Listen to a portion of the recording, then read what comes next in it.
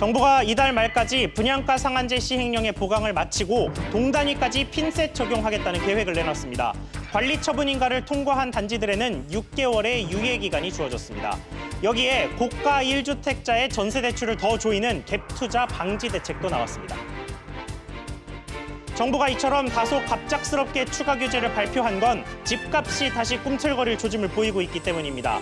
지난달 전국 집값은 10개월 만에 상승세로 돌아섰습니다. 지방은 여전히 하락세를 보였지만 서울과 수도권의 상승세가 컸습니다.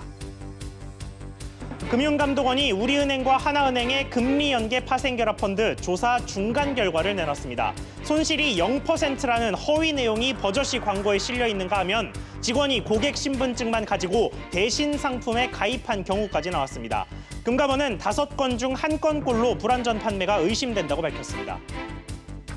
지난달 소비자 물가 상승률이 통계 작성 이후 54년 만에 처음으로 공식 뒷걸음질 쳤습니다. 정부는 일시적인 저물가 현상이라고 일축했지만 경제 전반의 소비 위축이 물가 하락으로 이어지는 악순환, 즉 디플레이션 우려는 점점 커지고 있습니다.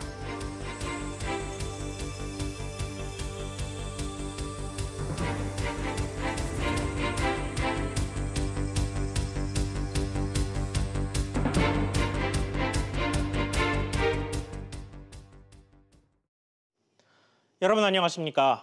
정부가 갑작스럽게 분양가 상한제를 비롯해 부동산 시장 안정화 대책을 내놨습니다. 관리 처분 인가를 받은 재건축 단지는 분양가 상한제 적용을 6개월 미루면서 혼란을 최소화하는 쪽으로 방향을 잡았습니다. 하지만 대출 쪽에선 추가 규제가 등장했습니다. 먼저 김환진 기자가 이번 대책 내용들 정리했습니다. 정부는 관리 처분 인가를 받고 본격적으로 사업에 착수한 재건축 단지들의 차질 없는 사업 진행이 필요하다고 밝혔습니다. 관리 처분 계획 인가를 받았거나 신청한 단지에 대하여 시행령 시행 후 6개월 이내에 입주자 모집 공고를 신청하게 되면 분양가 상한제 적용 대상에서 제외할 계획입니다. 이에 따라 이달 말 시행령 개정 이후 내년 4월 말까지 상한제 적용을 피할 수 있는 길이 열렸습니다. 상한제 적용 지역 선정은 동단위로 선별하는 이른바 핀셋 지정으로 이뤄집니다. 최근 1년 동안 분양가나 집값이 가파르게 오른 지역이 주요 표적입니다. 일반 분양 예정 물량이 많거나 분양가 권리를 피하기 위해 후분양을 선택하는 단지가 있는 지역도 검토 대상입니다.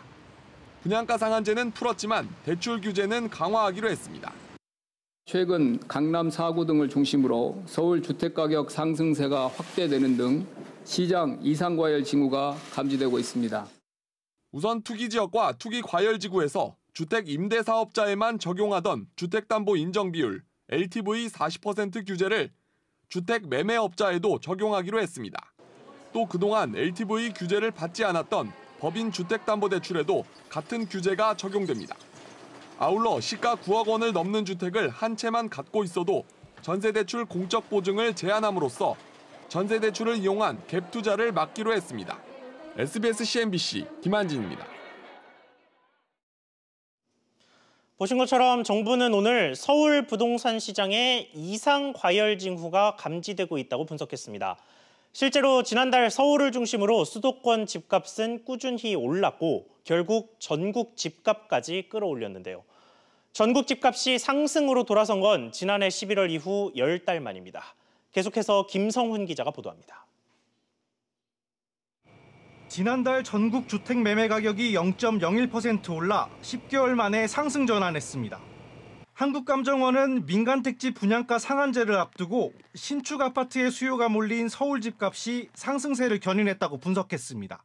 서울은 0.17% 오르면서 3개월 연속 오름세를 이어갔고 경기도도 8월 0.01%에서 지난달 0.11%로 상승폭을 키웠습니다. 특히 인천은 큰 폭으로 상승 반전하는 등 수도권 집값이 강세를 나타냈습니다. 이 같은 흐름 속에 서울을 포함한 수도권 집값은 전달에 비해 3배 이상 뛰었습니다. 지방은 0.1% 하락했지만 전달보다 그 폭이 줄었습니다. 주택 유형별로는 서울의 아파트 값이 0.18% 올라 상승폭을 키웠습니다. 강남에서는 신축 아파트 중심으로 인기 대단지 수요가 크게 늘면서 서초구와 강동구가 0.2% 넘게 올랐고 강북권에서는 성동구와 마포구가 강세를 이어갔습니다. 저금리 기조가 지속적으로 유지된다라는 기대감이 좀 반영된 부분이 있고 계절적으로 추석 이후에 성수기에 진입하면서 다소 수요가 개선되는 측면이 가격에 반영된 게 아닌가라고 보고 있습니다. 한편 지난달 전국 전세 가격은 0.03%, 월세 가격은 0.05% 각각 하락했습니다. SBS CNBC 김성훈입니다. 결국 정부의 이번 부동산 대책은 지난 7월부터 다시 상승 곡선을 그리던 서울 집값을 내리누르겠다는 의도로 해석할 수 있습니다. 관련해서 취재 기자와 조금 더 짚어보겠습니다. 황인표 기자 나왔습니다. 자, 황 기자. 네. 분양가 상한제 쪽 이야기부터 좀 해보죠. 일종의 유예 기간을 준다는 건데 이렇게 되면 그 유예 기간 동안에는 물량이 더 많이 나오는 거 아닙니까? 뭐 그럴 가능성이 높습니다. 일단 서울에서 관리 처분 인가를 받은 단지가 61곳이고 6만 규모로 보면 이제 6만 8천 가구쯤 되는데요. 예. 어, 이들 재건축 단지의 경우 6개월 안에 분양을 하면 상한제를 적용받지 않게 됩니다. 이 강남권의 경우 5천 가구의 일반 분양이 예정돼 있는 둔촌 주공이라든지 뭐 반포 주공 1단지 등이 내년 4월 전에 이제 분양을 하면 상한제를 피할 수 있게 됩니다. 상당히 많은 재건축 단지들이 분양의 속도를 내면서 올해 가을부터 내년 봄까지 이 공급량이 대폭 늘어나게 될 것으로 보입니다. 이 다만 상한제를 적용받지는 않지만 기존처럼 어, 주택도시보증공사에 의한 분양가 통제를 받기 때문에 이 재건축 단지들이 분양 가격을 자유롭게 정할 수 있는 건 아닙니다. 그렇군요. 그러면 또 이번 대책 중에 이 상한제 적용 지역을 동단위까지 잘게 쪼개겠다 이렇게 이야기가 나왔는데 네. 그 이유가 뭡니까? 뭐 문제가 될 수 있는 특정 재건축 단지만 사실 좀 타깃으로 잡은 그런 경우거든요. 예를 들어 이제 분양가 기준을 피해서 후분양을 추진 중인 그런 아파트 단지가 있다든가 분양 물량이 많아서 주변 집값에 영향을 줄 수 있는 재건축 단지만을 골라서 어, 상한제를 선별적으로 시행하겠다는 뜻으로 해석이 되고 있습니다. 이 서울 전체를 상한제로 지정해 버리면 이 서울 전체 공급이 줄어들 그럴 가능성이 있는데 이렇게 특정 단지 즉 분양가가 급등할 조짐이 나타나는 단지만 이 타깃 으로 하게 되면은 이 공급 축소 우려가 다소 줄어들 것으로 보입니다. 그렇군요. 이번엔 대출 쪽으로 좀 넘어가 보죠. 이번에 정부가 내놓은 대출 규제 그 의도를 분석해 보자면 어떤 게 있을까요? 이 사실상 꼼수 대출을 좀 막고자 하는 건데요.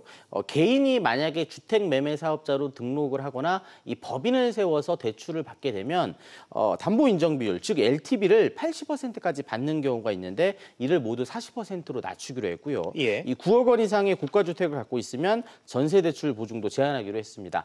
아, 다른 집에 내가 전세로 살겠다 이러면서 이 전세 대출을 받아서 그 돈으로 갭 투자에 나서는 그런 국가 주택 소유자들이 있기 때문입니다. 아, 또 이번 달부터는 국토부와 감정원, 이 국세청 등이 합동 조사도 벌일 예정인데요. 자금 조달 계획서 제출과 편법 증여 의심 사례 1,200여 건을 좀 세밀하게 들여다보기로 했습니다. 이 조사 대상 지역은 강남 4구와 마포, 용산, 어, 성동, 이 서대문 지역 등인데요. 어, 실제로 강남구에서 이런 사례가 있다고 합니다. 30억짜리 아파트를 사면서 어, 모두 남의 돈을 빌려 사겠다. 이 나이가 30대인 사람들이 그런 얘기를 했다. 이제 계획서를 냈다고 하는데 이런 경우에 이제 편법 증여가 있는지 없는지 따져보겠다는 게 국토부의 계획입니다. 그렇군요. 확실히 30대가 30억짜리를 모두 돈을 빌려서 살 가능성은 그렇게 많지 않을 것 네. 같기는 합니다. 네, 황 기자 잘 들었습니다.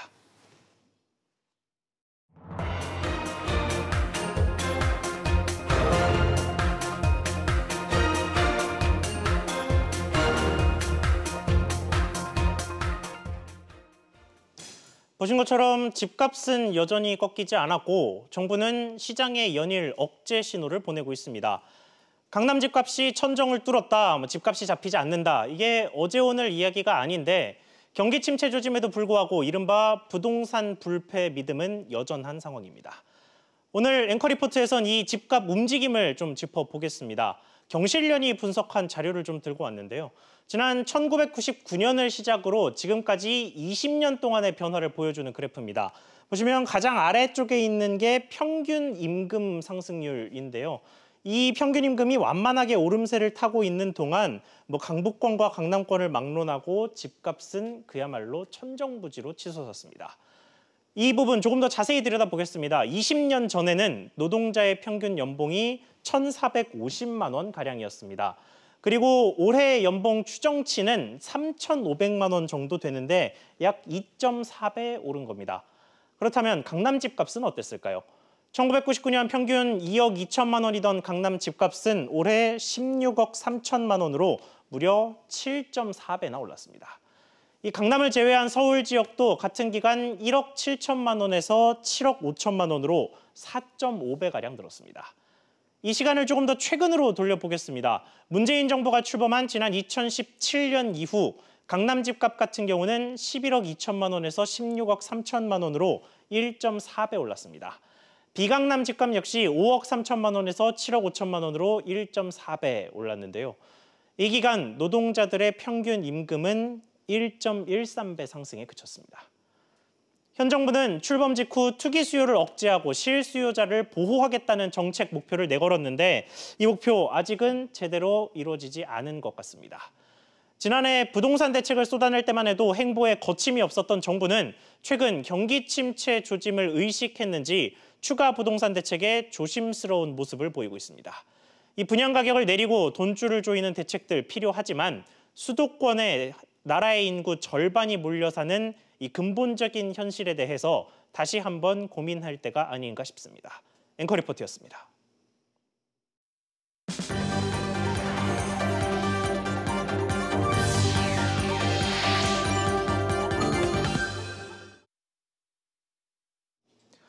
금리 연계 파생 결합 펀드 DLF 관련 소식으로 넘어가겠습니다. 금융감독원이 이 상품을 판매한 우리은행과 하나은행을 조사한 중간 결과를 내놨습니다. 조사 결과 적자는 불완전 판매 의심 사례가 등장했습니다. 어떤 내용들이 있었는지 먼저 정인아 기자가 정리했습니다. 우리은행이 고객에게 보낸 DLF 광고 문자 메시지입니다. 독일 국채금리가 세계 최고 안전자산이라면서 점진적으로 오르고 있다고 설명합니다. 금융감독원이 DLF를 판매한 우리은행과 KB 하나은행 두 곳의 판매 서류 4천여 건을 조사한 결과 이처럼 불완전 판매를 한 경우는 5건 중 하나 꼴이었습니다. 금감원이 발표한 불완전 판매 의심 사례 중 다수는 설명 의무 위반이었습니다.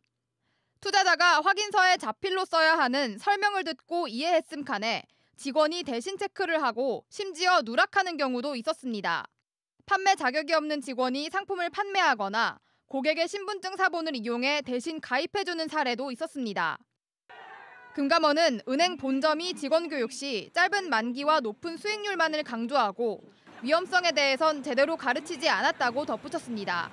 충분한 교육 없이 판매만 부추긴 셈입니다. DLF 설계, 제조, 판매 전 과정에서 금융회사들이 투자자 보호보다는 자신의 이익을 중시하여 리스크 관리 소홀, 내부 통제 미흡, 불안전 판매 등의 문제점이 다수 발견되었습니다. 금감원은 우리은행과 하나은행이 3,200여 명에게 총 7,900억 원어치의 DLF를 판매했고 당장 중도 환매나 만기 등으로 이미 손실이 확정된 규모만 670억 원에 달한다고 밝혔습니다.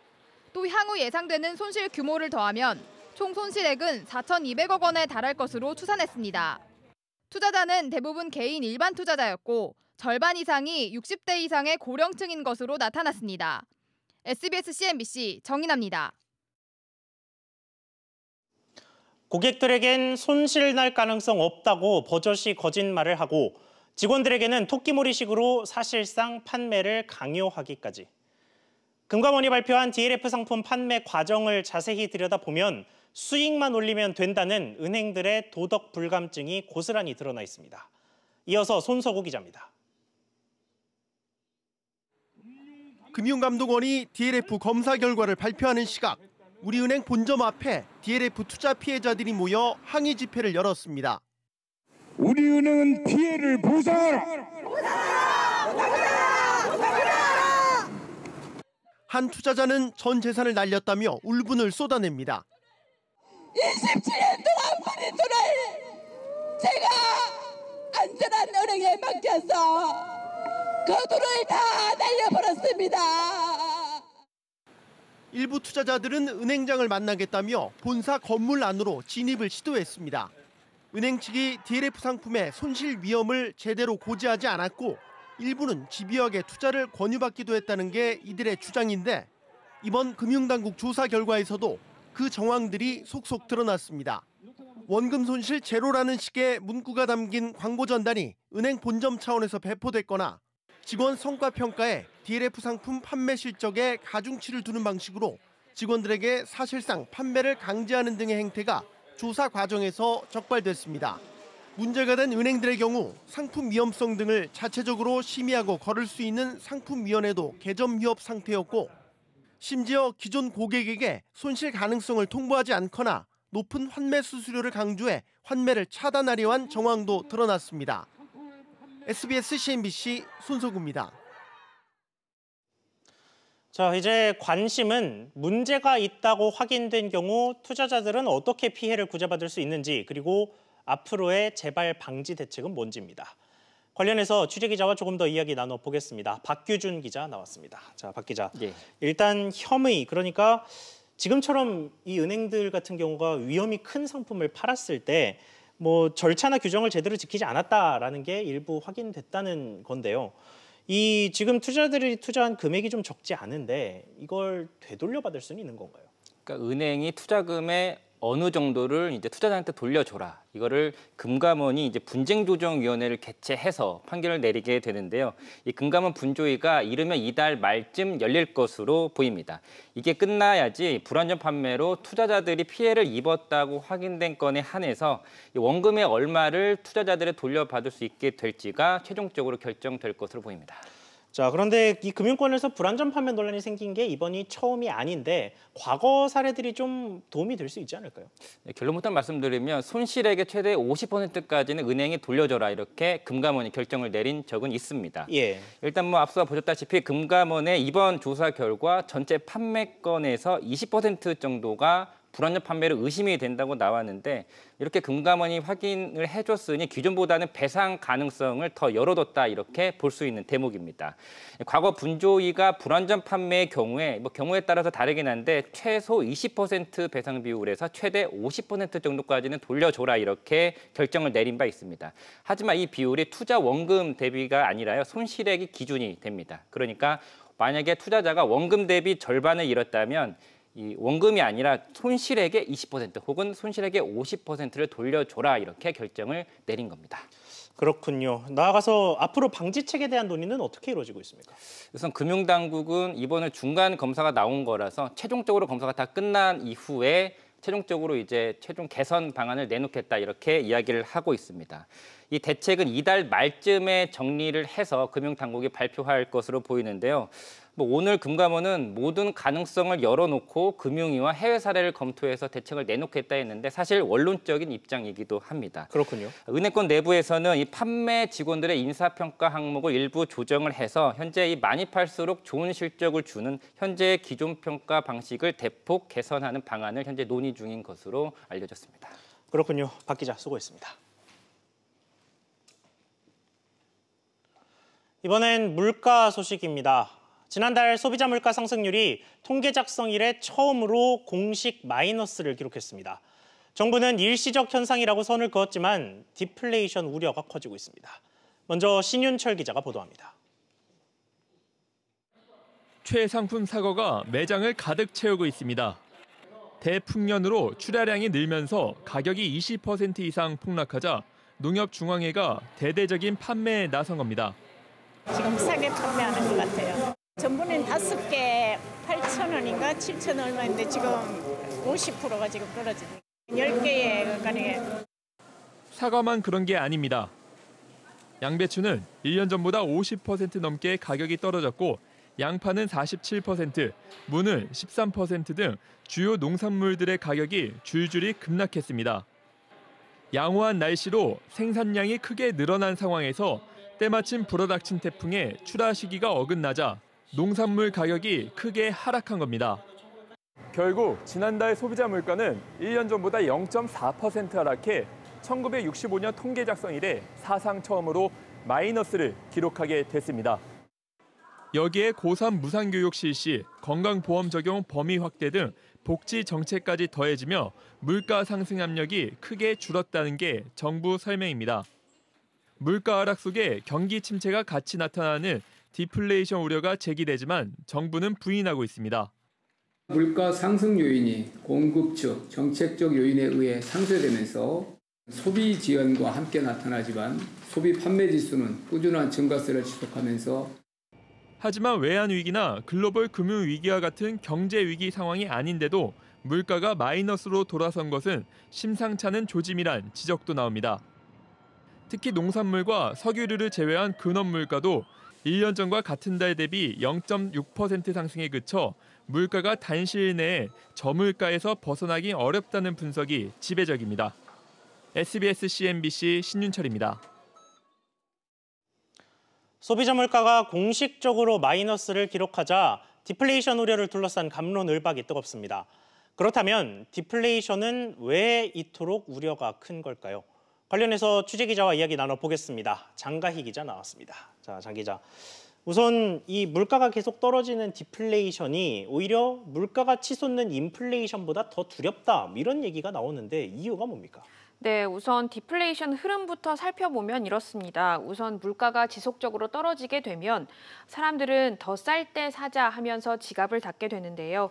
한마디로 소비를 미루고 저축하려는 이들이 늘어나게 됩니다. 그런데 경기 침체 속에 한 푼이라도 아껴야 한다는 흐름이 대규모로 나타나게 되면 기업들 역시 투자를 꺼리게 됩니다. 어차피 만들어도 사는 사람이 없을 것이라는 판단하에 물건을 만들기 위한 투자를 최소화한다는 겁니다. 공장이 돌지 않으면 당연히 근로자의 소득이 줄 수밖에 없고요. 또 이는 다시 소비 위축 이렇게 이어지는 악순환이 계속됩니다. 최악의 시나리오는 이런 상황에서 자산이 폭락할 경우에 일본의 잃어버린 20년 우리도 되는 것 아니냐 이런 우려가 나오고 있습니다. 네, 장 기자, 이 일본의 잃어버린 20년을 언급을 했는데 그 일본의 이 디플레이션 현상은 상황이 어땠습니까? 네, 1980년대 중반에 엔화 가치가 폭등하게 되면서 일본 기업들이 앞다퉈서 해외 부동산을 사들였습니다. 그러, 나 어, 플라자 합의 이후에 거품 경제가 붕괴되면서 기업들이 줄줄이 쓰러졌습니다. 엔고 현상의 경기 악화 와중에도 급격히 금리를 올렸던 일본 정부는 뒤늦게 금리를 내리는 등 부양에 나섰지만 이미 타이밍을 놓쳤습니다. 여기에 고령화 문제에 제대로 대응하지 못하면서 풀린 재정이 금융사와 기업 구조조정이 아닌 복지에 집중이 됐고요. 또 일본 경제는 활력을 잃은 채 20년간 디플레이션 국면을 벗어나지 못했습니다. 자, 그런데 우리나라가 뭐 해외 부동산을 앞다퉈 사들이고 있는 것도 아니고 금리가 높은 상황도 아니라서 일본의 20년과는 좀 상황이 다른 것 같은데 그런데도 전철을 밟을 수 있다 이런 우려가 나와요. 이유가 뭡니까? 네, 물론 한국 경제가 이런 함정에 빠진 것은 아닙니다. 전문가들이 걱정하는 것은 어, 부채가 100, 어, 1,500조 원을 넘어서고 유동자금이 부동산에 몰려 있는 상황에서 자칫 경기 침체가 자산 폭락으로 이어질 경우입니다. 과거에는 높은 경제 성장률로 이런 디플레이션을 버틸 수 있었지만 현재는 성장률이 2%도 버거운 상황에서 이 같은 디플레이션은 우리 경제에 치명타가 될수 있다는 게 전문가들의 설명입니다. 네, 장 기자 이야기 잘 들었습니다. 여기에 우리 경제의 불안감을 키웠던 수출 부진도 여전합니다. 수출 규모는 지난달까지 넉 달 연속으로 두 자릿수 감소세를 기록했습니다. 상황이 이렇게까지 부진했던 건 무려 10년 만입니다. 오정인 기자의 보도입니다. 중국과 일본에 부품을 수출하는 한 업체입니다. 지난해와 비교해 주문 물량이 30% 가까이 줄었습니다. 사실 올해는 어떻게 버텨보는데 내년에는 어떻게 될지 모르니까 그게 좀 불안하죠. 심리적으로. 더안 좋아진다는 얘기가 있으니까. 그래서 상당히 좀 어려움을 겪고 있죠. 지난달 우리 수출 규모가 지난해 같은 달보다 11.7% 줄었습니다. 10개월째 감소세입니다. 우리 주력 수출 품목인 반도체와 석유 제품의 부진이 가장 큰 요인으로 꼽힙니다. 지역적으로 대중 수출은 무려 21.8% 줄었고 대미, 대일 수출도 모두 하락했습니다. 미중 무역 분쟁의 장기화에 일본의 수출 규제까지 더해져서 대외 여건의 불확실성이 크게 증대되었고 반도체 석유 제품 수출 단가의 지속적인 하락이 9월 수출의 주요 부진 어, 요인으로 판단됩니다. 우리 수출 감소 폭이 4개월 이상 두 자릿수를 기록한 건 지난 2009년 8월 이후 처음입니다. 일각에선 수출 부진이 고착화되는 것 아니냐는 우려도 제기됩니다. 다만 반도체, 석유화학 등 우리 주력 상품의 수출 단가 하락에도 수출 물량이 증가세를 보이는 점은 긍정적으로 평가됩니다. 향후 이들 업종의 글로벌 업황이 개선되느냐가 전체 수출 실적의 반등 여부를 결정지을 것으로 예상됩니다. SBS CNBC 오정인입니다. 이렇게 경제 상황이 악화되고 있는 요인은 뭘까요? 여기에 대해서 전문가들이 한 목소리를 냈습니다. 자세한 내용은 취재 기자 연결해서 알아보겠습니다. 안지혜 기자. 네, 안지혜입니다. 네, 오늘 전문가들이 모인 무슨 자리가 있었습니까?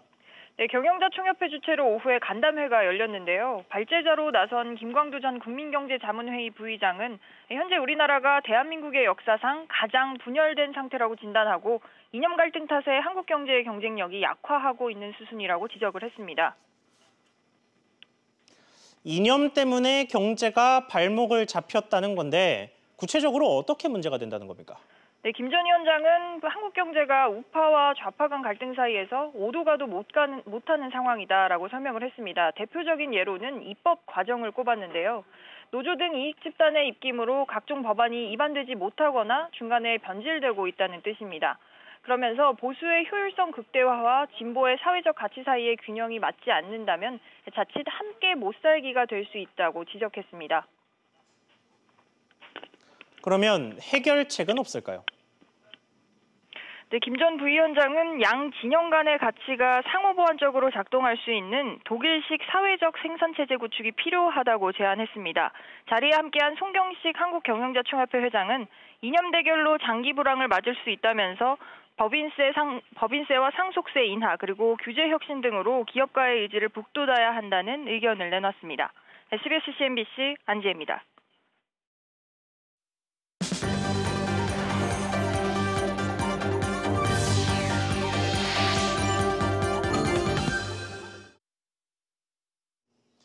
국내 자율주행 스타트업 코드42가 기아 자동차를 포함해 SK, LG 등 대기업으로부터 300억 원 규모의 투자를 유치했습니다. 코드 42는 네이버 최고 기술 책임자 출신 송창현 대표가 올해 초 설립한 자율주행 플랫폼 업체입니다.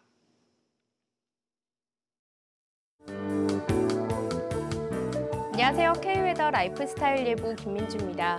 현재 태풍의 전면에서 강하게 발달한 비구름대의 영향으로 전국이 흐린 가운데 전라도와 경남, 제주도에 비가 오는 곳이 있고요. 충청도와 경북에도 산발적인 빗방울이 떨어지는 곳이 있습니다. 특히 전라도와 제주도에는 호우특보가 발효 중인 가운데 시간당 30mm 이상의 강한 비가 쏟아지는 곳도 있습니다. 제18호 태풍 미탁은 중심기압 975 헥토파스칼, 최대 풍속 초속 32m의 강한 중형급의 세력을 유지한 채 북상하고 있습니다.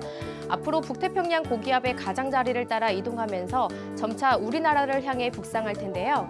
이에 따라 내일 전국이 태풍의 영향권에 들겠습니다. 강원 영동과 충청 이남 지역에 비가 내리겠고요. 낮에 그 밖에 전국으로 확대되겠는데요. 서울 경기와 강원 영서에는 오전에도 산발적인 빗방울이 떨어지겠습니다. 중부지방 흐린 가운데 오전에 충청도에 비가 내리겠고 낮에는 그 밖의 지역으로까지 확대되겠습니다. 동해안 지역 종일 비가 오겠고요. 낮 기온은 속초와 강릉 23도로 선선하겠지만 많은 비에 대비하셔야겠습니다. 남부지방에도 종일 비가 오겠고요. 낮 기온은 광주와 부산, 대구 24도, 전주 23도가 되겠습니다. 비는 개천절인 목요일까지 내리다 그치겠고요. 비가 그친 뒤에는 다시 선선한 가을 날씨가 이어질 전망입니다. 지금까지 기상정보였습니다. 오늘 저희가 준비한 소식 여기까지입니다. 시청해주셔서 감사합니다.